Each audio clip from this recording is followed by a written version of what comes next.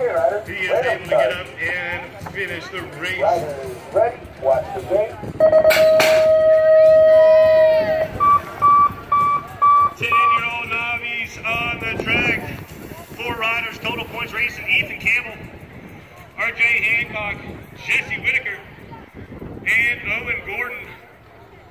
Out of turn one, got the 780 and the 264. Going to be one and two. That's going to be RJ Hancock and Jesse Whitaker. It's Hancock and Whitaker going one and two. Campbell Gordon three and four. Out of the last turn we go. Hancock with the big lead. He's going to